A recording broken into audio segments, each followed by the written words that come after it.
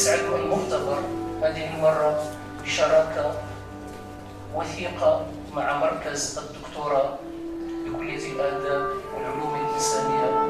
أن يستضيف العلامة قيدوم أساتذة جامعة ستراسبورغ وعميد البحث المعجمي في اللغة العربية لإلقاء سلسلة من حول مسائل معجمية وصرفية في اللغة العربية بسم الله الرحمن الرحيم Chers collègues, chers, chers étudiants, c'est une occasion rare et c'est un privilège que de vous accueillir, Monsieur Barbeau, parmi nous. D'abord parce que vous êtes le professeur de nos professeurs.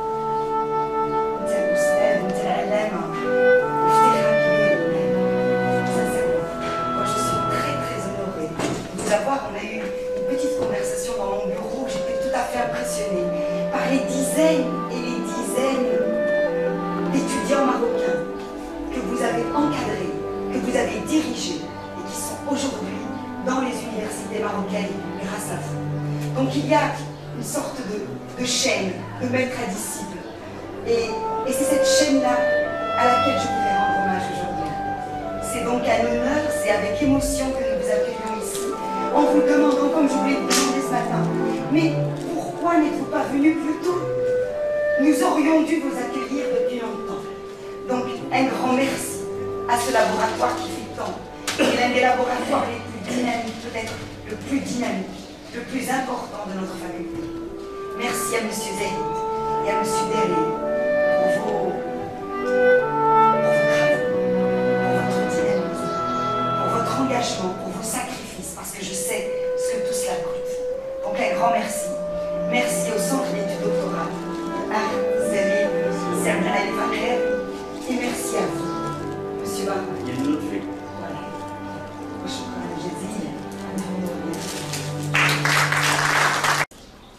واللغة العربية بتجاربها الغنية هذه وبأنماط حياتها لم يؤرخ لها ذلك التاريخ العلمي الدقيق.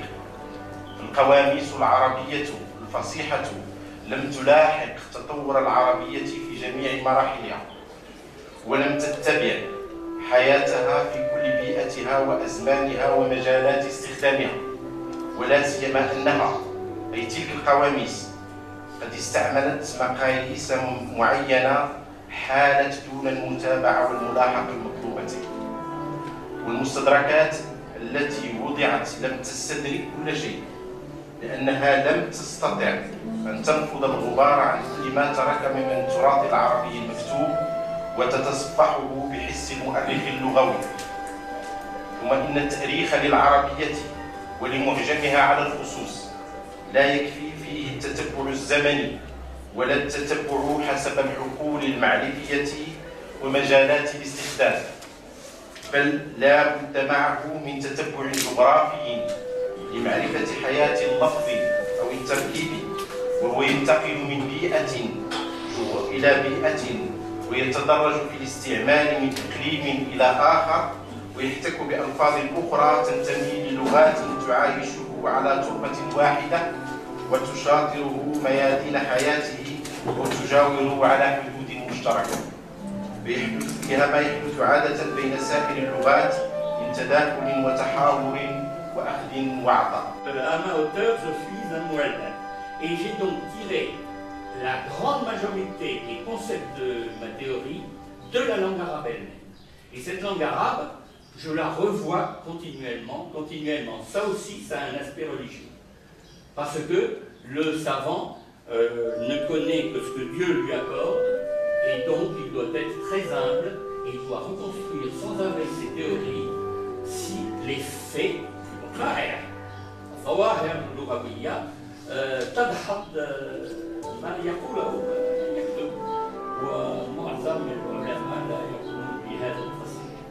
les, savants ont tellement, nous avons tous tant de mal à construire quelque chose dans notre tête que c'était très difficile d'accepter d'avoir à reviser que, euh, le formatage de nos cerveaux. Et vous allez voir qu'il y a certaines choses du niveau grammatical de la langue arabe qui, comme vous y avez fait allusion, n'ont pas été approfondies, ont été pris ensuite comme un dogme. Ce qu'on appelle en, français, mais en fait c'est du latin, non c'est du grec, doxa, c'est-à-dire une artida, auquel on ne touche pas.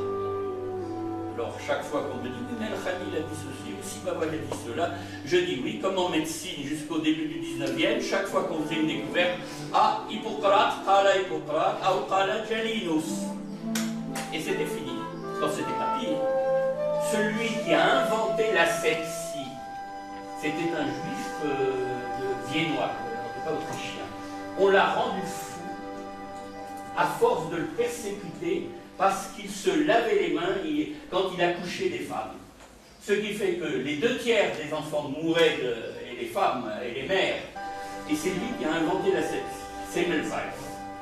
Eh bien, la science est sans arrêt, ou en tout cas les savants sont obligés de lutter contre euh, euh, les obstacles que suscitent les collègues qui ne veulent pas qu'un autre ait trouvé quelque chose ou qui dérangent ceux euh, à quoi ils moi, pendant 47 ans, j'ai enseigné, appris d'ab- d'abord et enseigné le Mukarrar tel qu'on me l'avait enseigné. Et puis un beau jour, en une minute, j'ai vu que si on le dessine sous forme d'un graphe, de relation entre des points, c'était pas ça du tout. Eh bien, depuis 97, chaque année, je trouve des conséquences du fait que je vous montrerai, et qui en effet très très simple, et qui remet complètement en cause tout ce qu'on dit sur le Mukarrar.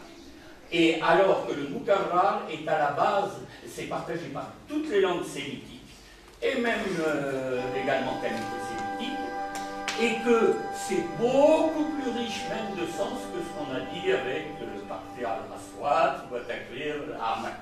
C'est beaucoup plus riche que cela. Chaque année, il y a des choses nouvelles. De près d'un millier de racines sur une seule page qui montrent leur relation phonosémantique. Mais ce n'est pas l'important, mais ça va vous rappeler le zélige. C'est une mosaïque. Et les traits Khotout, al-Mubajjala, c'est-à-dire les caractères gras, ce sont des quadrilitaires, les fameux quadrilitaires qui sont Muhammasha, ala hamish al-nizam, alladhi huwa as-thulathi. Regardez la densité de la chose. Voilà une maquette. C'est la deuxième mouture de cette maquette en bois. Ces boules, c'est du bois. Il a fallu aller en Allemagne, parce qu'on n'en trouvait pas en Alsace, il a fallu aller dans la forêt noire. Il y avait quelqu'un qui tournait de le bois. Et ceci qui est le centre de symétrie du chant de la colère en arabe, composé de 330 333 racines différentes. Il n'y en a pas une de plus, j'en ai pas trouvé depuis 10 ans et quelques, je cherche, je cherche, j'en trouve pas une de plus. Ce centre de symétrie, il fallait avoir percé les trous, mettre de la colle et enfoncer 12 tiges en bois en même temps, avec deux épaules infimes. C'est un travail monstrueux. Euh, donc ça n'est pas aussi beau que si c'était industriellement euh, fait. Eh bien, donc la Fusha s'est développée oralement. Et pourtant, quand on en arrive au moment de la révélation, elle est construite comme une des langues les, plus, les mieux, les plus riches, les plus structurées, et c'est ce qui a permis à la révélation d'être à la fois comprise et de se diffuser. الدلالة المفهومية معتمدة على التباينات الثنائية المرتبة ترتيبا زمنيا ومترابطة هذه التباينات بين صوامت consonnes مسمات جذرية parce que je suis de ceux qui ont défendu la racine, le sens de la racine pendant une partie de ma vie, et maintenant, vu toutes les dérives qu'on met à la racine, y compris de dire que les racines sont originelles, en plus trinitaires, et qu'on n'en a aucune preuve, ce n'est pas parce que les langues sémitiques sont en majorité dans l'état qu'on leur connaît, et ce n'était pas le cas pour l'hébreu le plus ancien, euh, basé sur un groupe trois consonnes, que c'est l'origine. Ce qui ne veut pas dire que l'origine c'était militaire, comme disent beaucoup de binaristes. Et c'est une dérive aussi. Donc je ne parle pas de racine, sauf entre guillemets, je parle de combinaison. Il s'agit d'une combinatoire, vous verrez tout cela. Et que ces contrastes sont des relations binaires, soit continues à la rate mutarida, ou à discontinue munfasila. Exemple, ha-massa, hama et massa sont des relations continues, parce que mim succède sans autre consonne euh, dite ou autre, et pas morphématique. Etc. Et massa la même chose. Mais entre ha et sa, c'est discontinu. Vous allez me dire, est-ce que les discontinus sont plus faibles que les continus? Eh bien, figurez-vous que dans tous les travaux que j'ai faits sur des racines trinitaires, très souvent, la première et la troisième sont plus porteuses de dalala dans le second trinitaire que les deux qui sont continus. Et c'est normal parce qu'autrement, l'ensemble d'une langue sémitique seraient d'une part des synonymes, s'ils avaient tous une signification en soi, et deuxièmement, il n'y aurait qu'une juxtaposition successive. Or, comme la mémoire, en particulier orale, ne peut pas être basée sur une juxtaposition, parce que la chaîne dont euh, notamment euh, Madame Le Doyen a parlé, c'est une chaîne qui se reconstitue constamment. Et la mémoire et même euh, la conception, l'idéation, c'est-à-dire tashkil fikra, d'image, l'idéation, ce n'est pas ouvrir un placard dans le cerveau et en tirer le mot, la phrase, etc. Ce sont des reconstitutions. Mon propos, et comme il l'a dit, je voudrais tout simplement lui reconnaître une chose. Non pas le savoir, outre le savoir que vous nous avez transmis, transmis, il nous a transmis une passion, il nous a transmis une manière d'être. Ce n'est pas uniquement le savoir qu'il a, qu'il nous transmet, mais également un savoir-faire qui est très complexe. Il faut vraiment vous suivre, mais vous nous avez donné un code de la route que parfois on lisait en arabe et en français, mais nous, sommes parvenus avec nos moyens de vous suivre, mais surtout, surtout, et le point sur lequel je voulais insister, c'est le savoir-être, la, la, fougue, la jovialité, la jeunesse que vous avez constatée malgré ces 78 ans. J'ai cru me retrouver dans les années 83, à toujours le suivre, à toujours le voir déambuler, passer devant le tableau, écrire, nous interpeller, nous donner la liberté même de le contredire. Et ça, c'est une chose qui est rare, que certains ténors, si je puis dire, n'accordent pas. Mais par le temps, les choses s'apprennent. Alors cette chose-là, je l'ai apprise de vous. Et je me suis rendu compte d'une chose. C'est que lorsqu'on conjugue ces maîtres, lorsqu'on conjugue les gens par lesquels, par les mains desquels nous sommes passés dans notre formation, dans notre modelage, et non pas la formation cérébrale, mais modelage physique, euh, corporel, nous finissons par revenir à sa dernière phrase de son, euh, son avant-propos. Nous sommes des transmetteurs. Nous ne sommes pas des dépositaires ad venam aeternam. Nous sommes dépositaires par le Tout-Puissant d'un savoir que nous devons remettre en cause, interroger, prolonger, mais nous avons la, euh, la mission indéfectible de le transmettre. Je vous félicite encore une fois et je me, je me félicite d'avoir été l'un de vos étudiants. Je félicite mes collègues et je félicite les étudiants doctorants ici présents parce que c'est une chance rare de vous avoir. Et pour dire, et pour finir, un seul mot, monsieur, mon cher ami, mon cher collègue, vous avez la foi, gardez-la. هذه الكلمة هي خاصة بالطلبة أولا يجب أن نشكر جميعا الدكتور حسن درير شكرا خاصا على ما بذله من جهد لإنجاز هذا اللقاء. تصوروا العشرات من الإيميلات كان يكتبها لسباغو ويتابع فيها التفصيلات التي سينعقد عليها المؤتمر فهو الذي أخذ ملف هذا اللقاء. أخذه أخذا من بدايته إلى نهايته. فله مني كل تحية وكل تقدير على ما يبذله. نعم قريبا. على ما بذله من جهد لطلبتنا في قسم الدراسات العربية. الشيء الثاني من لا يشكر الله سي حسن الشكر ضروري وواجب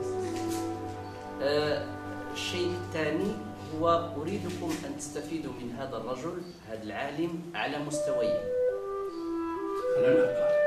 المستوى الأول المستوى الأول المستوى الأول هو الجانب الشخصي. ها أنتم تروا الرجل وقد شارف على الثمانينات وكله حيوية وكله عطاء شيء لا نلحظه في طلبة العشرينات هذا الشيء.